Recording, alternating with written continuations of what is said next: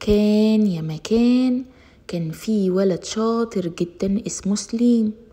وسليم مامته كانت تعبانة بقالها تلات أيام. فقرر إن هو ينظف البيت لأن البيت أصبح وحش جدا. بدأ يلم الأول الهدوم اللي مش نظيفة اللي في أوضته علشان يوديها تتغسل. أخد الهدوم كلها وحطها في الغسالة. شغل الغسالة وبعدين جاب كيس وبدأ يلم الحاجات اللي في الأرض.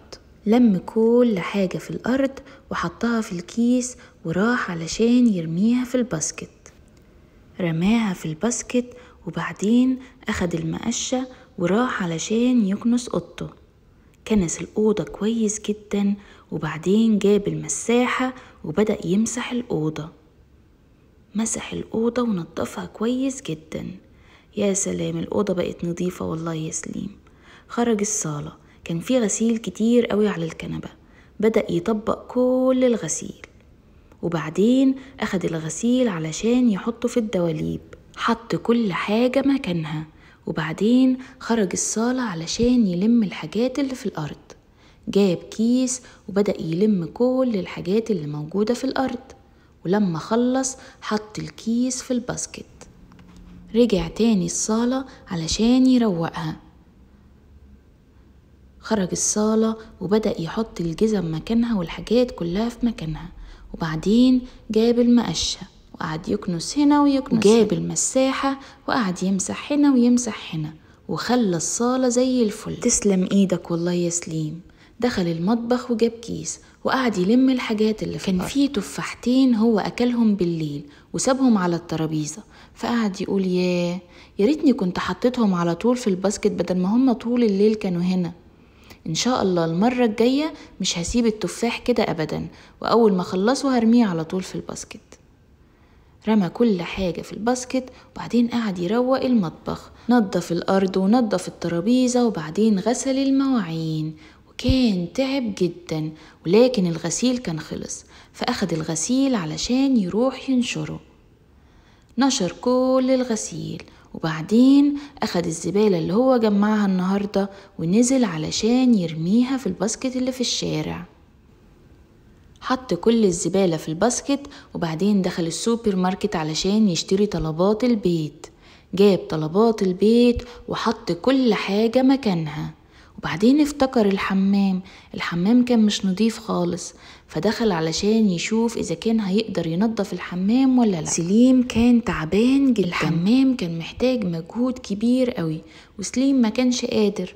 فقرر إن هو مش هيعمل الحمام النهاردة لأن صحته أهم من أي حاجة. وقال إن شاء الله بكرة أول لما أصحى هنضف الحمام. واستغرب جدا إزاي مامته بتعمل كل ده كل يوم وقرر إن هو هيساعد مامته كل يوم علشان المجهود ده كتير قوي قوي على مامته. بعدين قال أنا عايز أعمل لماما عصير فخرج علشان يروح يعمل لمامته عصير ليمون. كان تعبان جدا ولكن وقف وعمل العصير وجاب الخلاط وعصر الليمون وجهز العصير بشكل جميل وراح لمامته علشان يفرحها.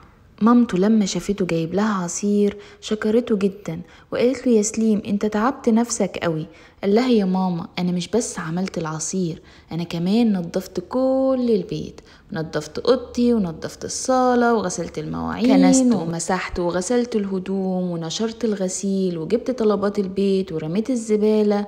وانتي بصراحة يا ماما بتتعبي قوي قوي وإن شاء الله هساعدك كل يوم. لأن إحنا عيلة بنحب بعض وبنساعد بعض. مامته قعدت تدعيله ربنا يحفظك يا سليم ويبارك فيك ويخليك ليا. وبعد يومين يا أصحابي مامته بقت كويسة ولما شافت البيت انبهرت وقالت له جزاك الله خيرا يا سليم. وتوتة توتة خلصت الحدوتة. عن أبي هريرة رضي الله عنه قال جاء رجل إلى رسول الله صلى الله عليه وسلم فقال يا رسول الله من أحق الناس بحسن صحابتي؟ قال أمك. قال ثم من؟ قال أمك. قال ثم من؟ قال أمك. قال ثم من؟ قال ثم أبوك. كان يا مكان كان في ولدين أخوات. اسمهم علي وعمر. النهاردة عيد الأضحى. أول لما صحيوا من النوم علي قال لعمر كل سنة وانت طيب يا عمر. يلا بينا نعمل اللي اتفقنا عليه امبارح. وانت طيب وبخير يا علي. يلا نروح لماما نعيد عليها وناخد العيدية.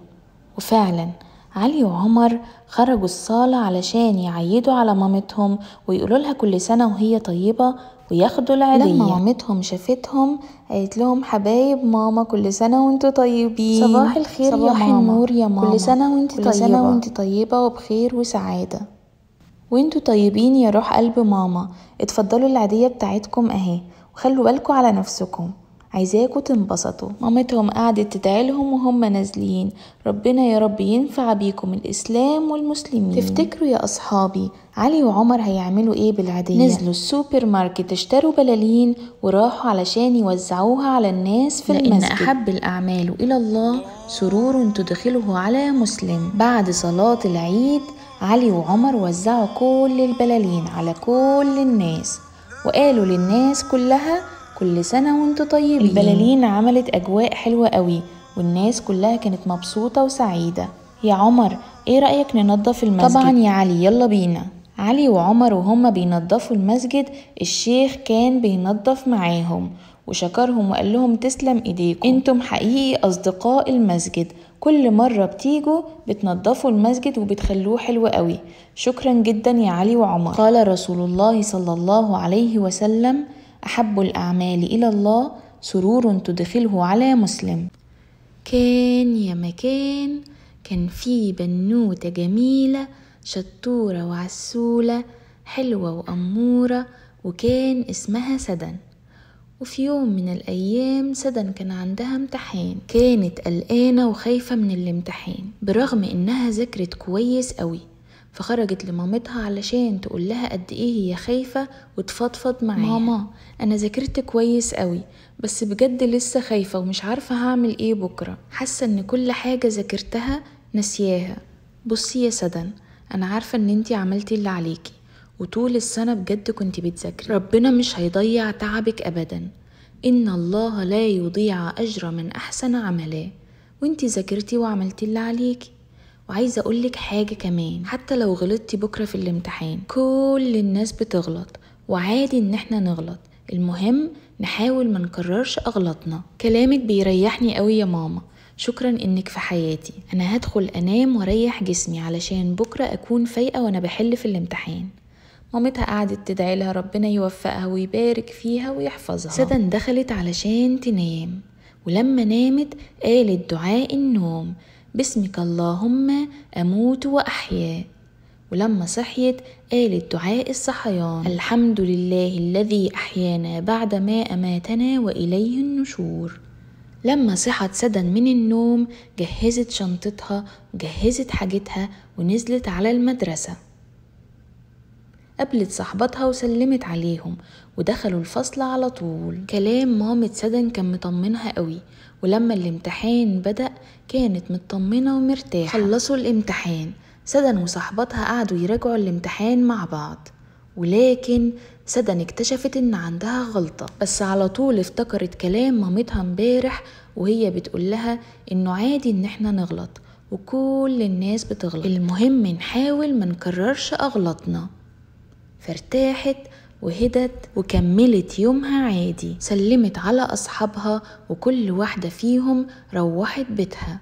بس سدن جه في بالها فكرة جميلة قررت إن هي تعدي على محل ورد وتشتري لمامتها بوكيه ورد جميل. لما روحت البيت أول حاجة عملتها شكرت مامتها وادتها بوكيه إيه الورد. الورد ده ليا؟ ده حلو قوي. تسلم إيدك يا سدن. أنا عايزة أقولك انت يا ماما شكرا. شكرا إنك دايما بتطمنيني ودايما بتدعميني ودايما واقفة جنبي. أي مشكلة في حياتي أنت بتساعديني فيها. حبيبتي يا سدن أنت قلبي وروحي وعمري وحياتي. ربنا يخليكي ليا ويحفظك. وتوتة توتة خلصت الحدوتة. كان يا مكان كان في ولد أمور شطور وعسول. حلو وصغيور وكان اسمه الحسن. والحسن كان بيحب ماما وبابا وبيسمع كلامهم. وفي يوم من الأيام الحسن وهو واقف في الشارع شاف ولد بيجري وخايف جدا وشاف ولد بيجري وراه واضح إن هو عايز يأذيه. فالحسن استغرب جدا هو ليه الولد ده عايز يأذي الولد ده؟ فقرر إن هو ينادي على الولد المؤذي ده ويسأله هو فيه إيه. فقال له لو سمحت ممكن أسألك سؤال. فالولد قال له عايز تكلمني في إيه؟ أنت بتوقفني ليه؟ فالحسن قال له ممكن أعرف أنت بتجري ورا الولد ده ليه؟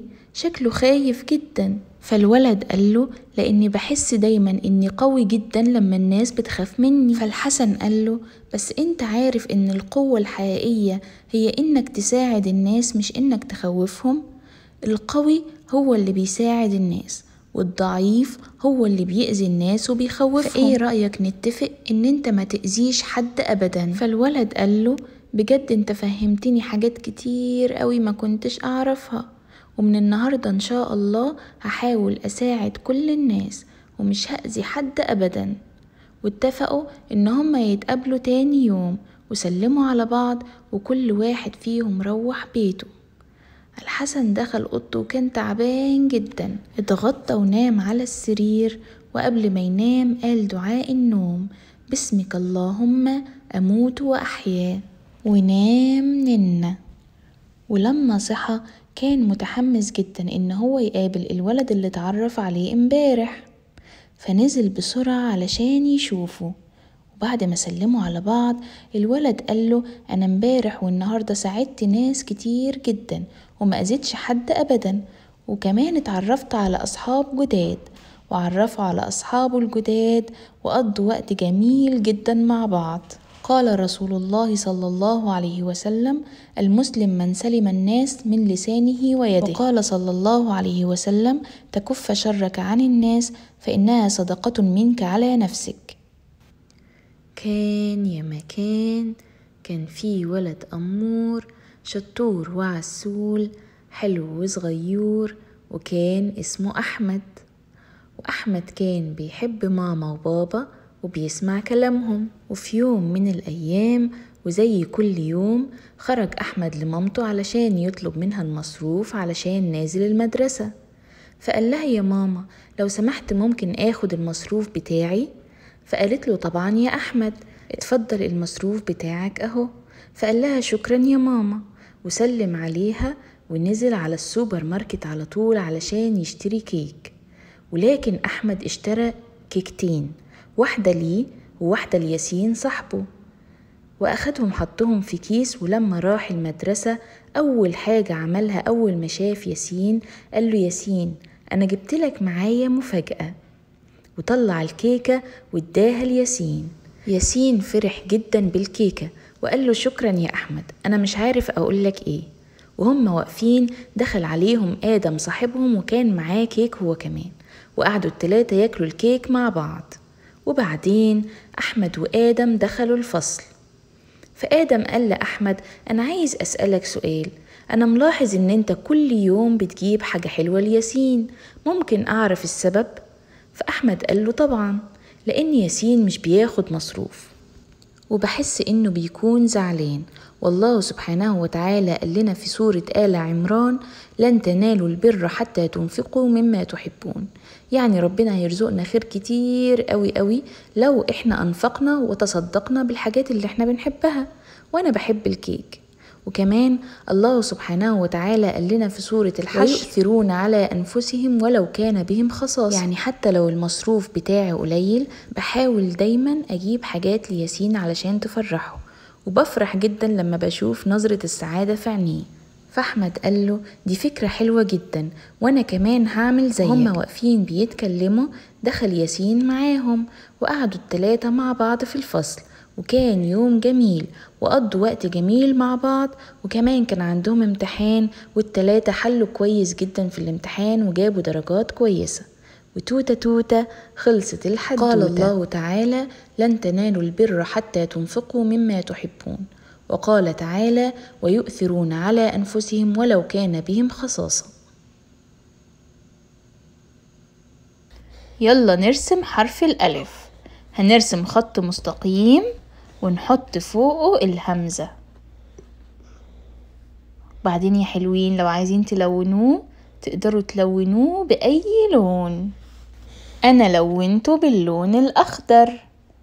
آ أسد. آ أسد. يلا بينا نتعلم نوصل الصور بالكلمات. أول صورة عندنا هي صورة الأرنب. يا ترى كلمة أرنب فين؟ برافو عليكم. يلا نوصل الصورة بالكلمة. تاني صورة عندنا هي صورة الأناناس. يا ترى كلمة أناناس فين؟ برافو عليكم. يلا نوصل الصورة بالكلمة. تالت صورة عندنا هي صورة الأسد. يا ترى كلمة أسد فين؟ برافو عليكم. يلا نوصلهم ببعض. برافو عليكم يا حلوين. يبقى كده إحنا وصلنا كلمة أناناس وكلمة أسد وكلمة أرنب بالصور بتاعتهم. أرنب. أناناس. أسد. أرز أرز أرز خفاش خفاش خفاش خيط خيط خيط. عامل عامل عامل. قبعة قبعة قبعة. عمي عمي عمي. سمكة سمكة سمكة. كرة كرة كرة. لعبة لعبة لعبة. عصير عصير عصير شمس شمس شمس. نظارة نظارة نظارة عدسة عدسة عدسة. لاعب لاعب لاعب. مصباح مصباح مصباح أسد أسد أسد. خزانة خزانة خزانة كتب كتب كتب. ذقن ذقن ذقن. درج درج درج درج ضفدع ضفدع ضفدع يمشي يمشي يمشي. عربة أطفال. عربة أطفال. عربة أطفال. ولد ولد ولد. بنت بنت بنت. زهور زهور زهور. جوارب جوارب جوارب. قطة. قطة قطة. جدة جدة جدة ظرف ظرف ظرف. حمامة حمامة حمامة. عصفور عصفور عصفور. زجاجة ماء. زجاجة ماء. زجاجة ماء. بطريق بطريق بطريق جبال جبال جبال. بطة بطة. بطة. شجرة شجرة شجرة. قفاز قفاز قفاز صخرة صخرة صخرة. نافذة نافذة نافذة نافذة.